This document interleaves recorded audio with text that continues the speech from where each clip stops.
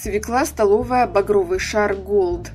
Великое множество сортов столовой свеклы заставляет огородников-любителей постоянно находиться в поиске. Всегда хочется вырастить какой-то новый урожайный сорт, который бы полностью отвечал всем требованиям и по вкусу, и по хранению в зимнее время.